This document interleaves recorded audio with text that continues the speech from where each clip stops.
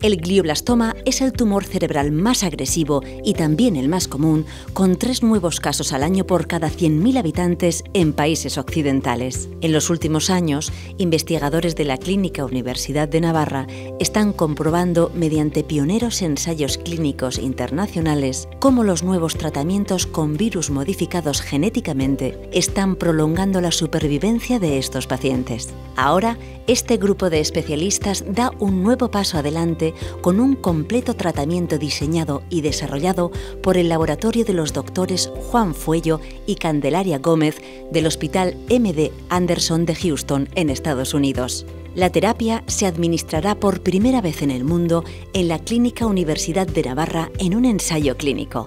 Este ensayo clínico probará la eficacia de la administración a pacientes de un adenovirus. Es un virus muy común, pero modificado genéticamente para expresar una proteína que es estimuladora del sistema inmune. El virus inocula directamente en el tumor de los pacientes para que infecte las células tumorales y las destruya.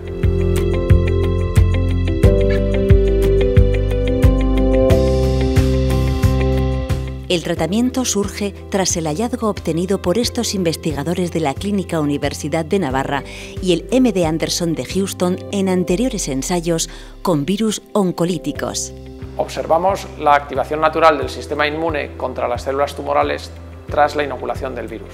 Y el nuevo ensayo da un paso más adelante al combinar expresamente la estimulación del sistema inmune pensamos que la eficacia combinada de virus y eh, reacción inmunitaria puede dar una reacción más potente para eh, el tratamiento de estos tumores cerebrales.